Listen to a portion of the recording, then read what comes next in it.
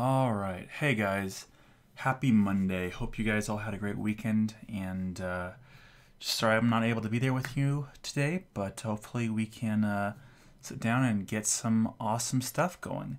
Now, um, some of the stuff we may have already covered. Um, I've been a crazy week and I don't have all my notes with me, unfortunately. So, uh, if there are parts that I'm, if you feel I'm repeating myself, just go ahead and don't worry about that. But we're going to try and uh, wrap this up. We're nearly at the end of this project, so we should be able to move on to some really cool, really new stuff very, very soon. Now, if you look on my screen over here, I've got my picture of, let's just go over what we have so far. Uh, I've got the original photograph that we used our refine select to extract from the background. Okay. Then we did our filter high pass effect and mashed that out so it's only showing up in certain areas. So as you see, it's turned off and on, you can see certain areas just popping a little bit. All right. Then we went and I added some levels to it. I added a color layer just to mix up the color. You may not be able to tell this on the monitor, but just some subtle color, change the blending mode from just a normal to color and drop the opacity just to add some slight color variation. All right. We also went and created a couple custom brushes. So if I uh, create a new layer and start painting, you can see it's got a brush or two and we can go and create some cool grunge effects with that. So we've got all this stuff going and that's good. Um, we need to add a little bit more. So first things first, I want to organize my layers over here just a little bit. Right now, I've got all these effects being applied, but they're not being applied very organized. So we're going to clip them to this bottom layer of Jennifer Lawrence. All right. I believe we touched on this, but all you got to do is put your cursor right between two layers, press and hold Alt, and your cursor will change to this little box with an arrow. When you click, this layer now will only apply, will only be visible where this layer is visible, right? So again, if I try to move this layer, all right, I can move it around, but it's only to be visible where the original Jennifer Lawrence picture is also visible, all right? And this is going to come be important for what we do next, or well, right after what we're doing next, which is let's just clip all of these to this Jennifer Lawrence layer, all right? So we could clip this guy and clip this guy. So all these little arrows are pointing down to Jennifer Lawrence. So all these arrows only apply where she's visible. Now this is important because what we're going to be doing right below that, when we created our, our picture of Jennifer Lawrence and we extracted her from the background, we've got all this white here. We're going to fill that in with something interesting, all right? So uh, we need to go online and get some pictures. And I believe I told you to go and grab those um, pictures of some warehouses or, or some urban or whatnot. Uh, all we're really looking for are pictures that have some interesting textures, noises, whatnot. So I went and found this picture of a warehouse and this picture of a warehouse. All I did was go to Google, type in warehouse, and they were some of the first ones that popped up. Um, you'll want them to be relatively high resolution. I mean, this one was uh, 3000 by 2000. This one was 1000 by 675. Um, but really what I'm looking for is, I'm not trying to try and blend this picture of Jennifer Lawrence into those photographs. So don't worry about that. Instead, what I'm looking for is I see all these interesting girders and things up here, and it just looks very, very interesting. Same thing up here. It's just a lot of visual, interesting noise. And with what we're going to be doing with this project, that's exactly what we want. So I'm going to right click on this picture, copy the image, go to Photoshop, edit, paste. All right. And it's going to paste now because of where I did it, it pasted it, clipping it to Jennifer Lawrence. What I want to do is take this, click and drag right below Jennifer Lawrence. Okay, so now if you can see, I've moved this to the background or right above the background layer, all right, but right before the Jennifer Lawrence layer, all right. Now when I did that, I've got in the background and I can go and play with it a little bit uh, if I want to transform it, if I want to liquefy it, because again, all I'm really looking for is all this interesting noise. It doesn't look like she's actually in a warehouse, but we just want it to look interesting. So I'm going to go in and transform a little bit, squeezing things, making until I find something that I'm happy with. All right. So I found this. All right, cool. And that's that's that's looking that's looking more or less right. Except I'd like to go and add some effects to it. Okay? Because this is it's contrasting a little there's a little bit too much darks over here, a little too much lights over here. So I just want this to blend with the picture of Jennifer Lawrence just a little bit. So I'm going to go and write it like we did last time on this little button right here in the layer palette, little half circle button.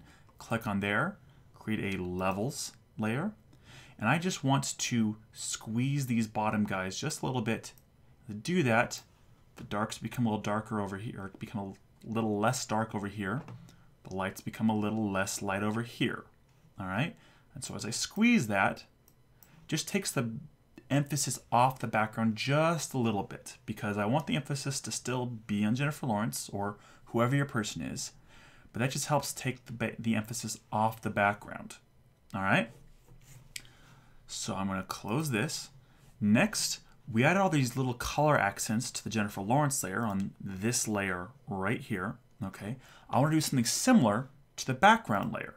So I'm going to go and click right on this levels layer we just applied, and I'm going to create a new layer. And I'm going to change its blending mode from normal down to color. And I'm just going to drop the opacity to 20, 30, somewhere in that range. And then just like we did before, I'm going to go grab my paintbrush tool, grab a soft round brush, and so here we go. All right. And I'm just going to fill this layer with some color. All right. And again, I'm just trying to add a little bit of color. So I added some green. I might go and add some purple in some places. All right, maybe some yellow, because that's kind of the color scheme I've been going for right now. So just touching that up here and there, and then I will probably actually drop the opacity just a little bit, okay? So as you look, let's see, let's see what we got now. We've got our Jennifer Lawrence with all those effect layers applied to it right here. Then below that, we've got our picture of, of warehouse or whatever picture you chose, okay? Um, we've got a levels layer applied to it, and we've also got a color layer. Now, just like we do with Jennifer Lawrence, we want these two layers to only affect this warehouse. So I'm going to put my cursor between the two, press and hold the Alt key on my keyboard, click, and now it's clipped to this layer. Do that again. Perfect. All right. So now, if you can see my layer stack right here, I've basically got two main pictures. I've got this warehouse picture with some effects applied to it, this Jennifer Lawrence picture with some other effects applied to it, and that's basically my project. All right. Now, I asked you to go and pick up two different pictures of warehouse photos. So let's go and pick those up again. I had this one. Let's grab this second one. All right. And again, you don't have to use warehouse photos. You could do whatever you want. Generally, something to do that'll be that looks kind of grungy would probably be your best bet for what this project is going to turn out to be.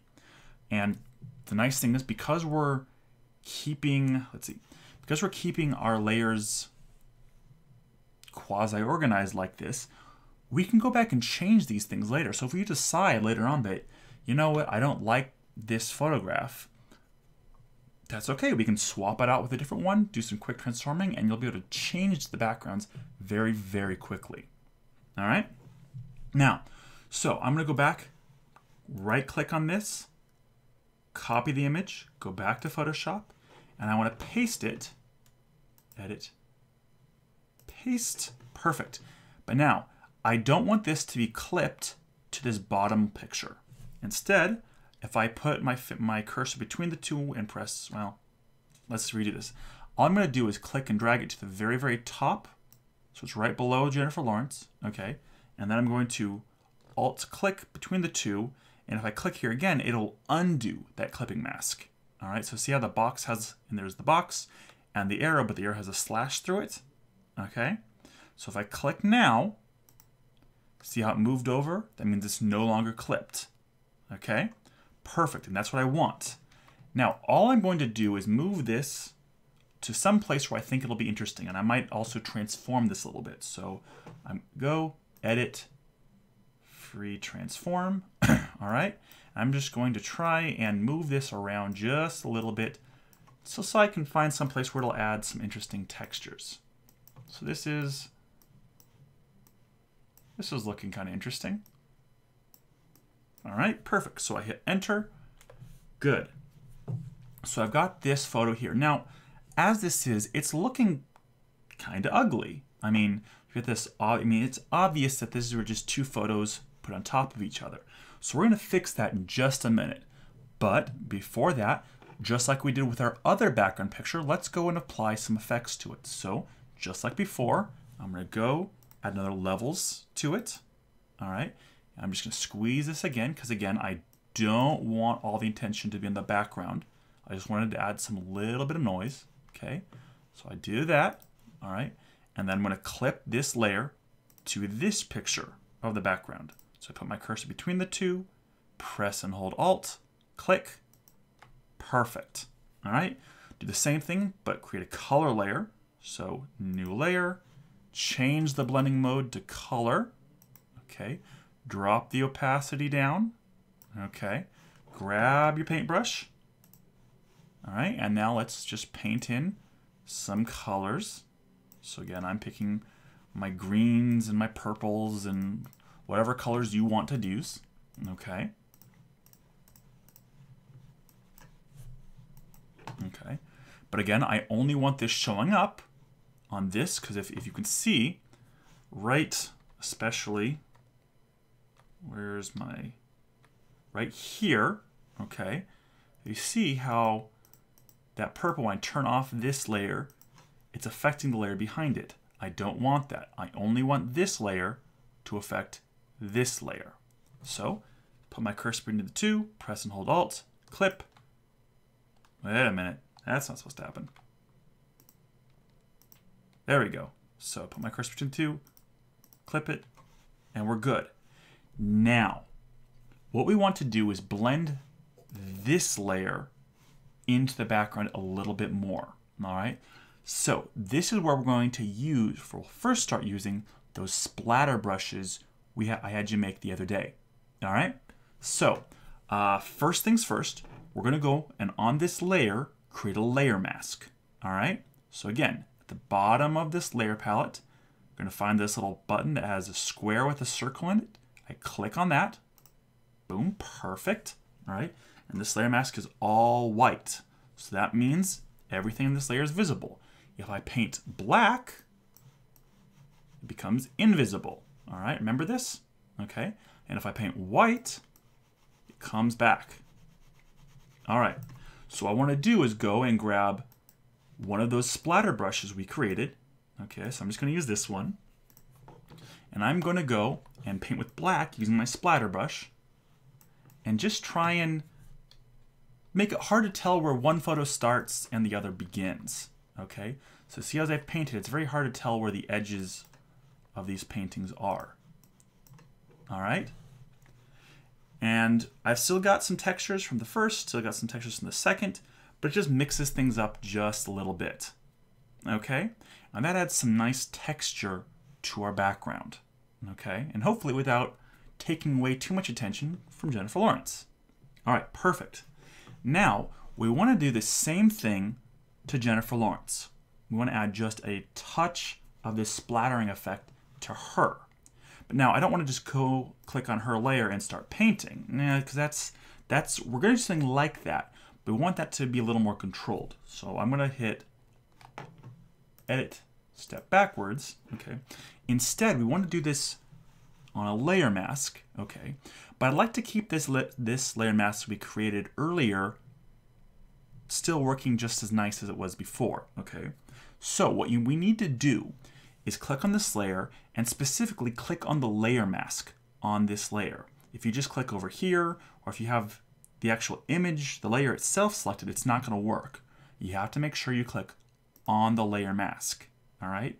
And what we're gonna do is create a layer mask for this layer mask, all right? So while this is selected, I go back down, hit the Add Layer Mask button, and we get a second layer mask to paint on. And now if I paint on this, it'll also mask the original layer, but it'll keep this original mask going. That way, if we want to make any other changes down the road, we can. All right? So, same drill. Paint with black to erase, paint with white to bring back. And all I'm going to do is just paint a little bit down here. All right? I want to keep her face looking pretty much the same. So I'm going to go back. Whoops. I want to paint with white now. All right? And I'm just going to try and bring back just a little bit. Uh-oh. All right, so I can't paint with white because when I do that, it's starting to bring stuff back to this layer. So I am I am on the wrong layer. Let's double check this. All right. So I don't. All I want to do is paint on. Okay, okay, okay, okay. So what we need to do is have. This gets a little tricky. So I mean, you just saw it threw me off. So we want to make sure that the layer selected and this layer mask is selected. That way, Photoshop knows what we're trying to mask. Okay, so when we do that, we paint. Okay, oh come on, work with me here, Photoshop.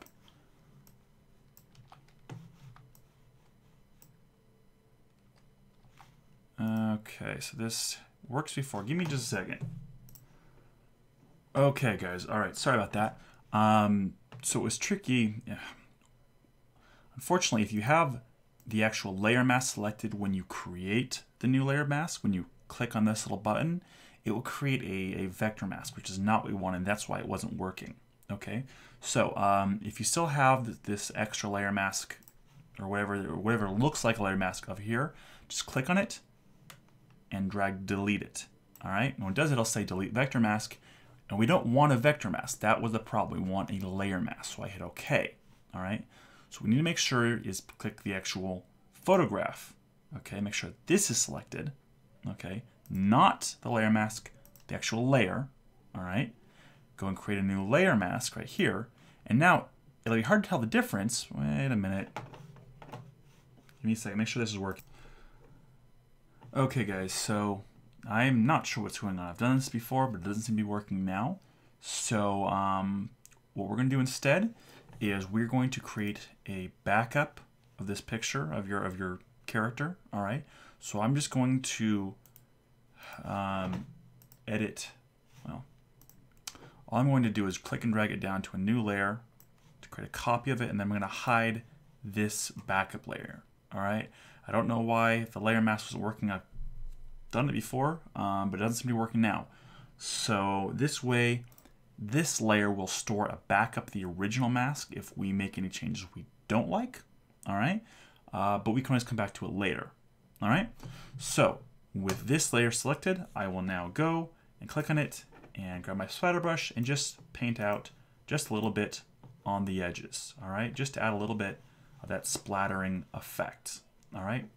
And now with that, let's look at what we've got. We've got our original picture of Jennifer Lawrence with all these clipped to it, or not clipped to it anymore, so we'll reclip it. All right, so we've got Jennifer Lawrence and a couple different layers clipped to it. We've got our backup copy of Jennifer Lawrence. We've got our, I don't know, layer, layer masked uh, background right over here. And then we've got the original background where everything else is. All right. Now, in the last home stretch, we create one more layer at the very top of our document. Okay. We grab our splatter brush, grab some paint that kind of matches the color scheme we've been going with. So I've been doing greens and purples and a little bits of yellows. So I'll pick some of those. And I'm just going to spend some time adding some of that to the background. I might go and find uh, the other my other layers and or my other bleh, sorry, one of my other brushes. Spend some time painting those in, and I'll maybe go and now change my eraser tool. Okay, change it to one of those splatter brushes, and just paint some stuff out. All right. Now I'll maybe go and create a new layer and paint a different color on this layer. I'll make it, say, green. All right, I'll paint. And I'm just now having fun. I can do whatever I'm wanting here, getting all sorts of different effects. Okay, and it's all kind of just blending together. All right, and you can play with this a little bit. All right. Some of it might come over a little stronger than you want. That's okay. You just play with it, find what you want. All right, and towards the end, you should have this interesting grunge photo effect. All right. Now, uh, I'll look forward to seeing what you have next time we meet, and uh, we can talk over any questions you have or any things you wanted to, uh, I think was unclear or not. Um, but uh, I look forward to seeing what you have. Thanks again. Hope you have a good day, and I look forward to talking to you again uh, tomorrow. Till then, bye.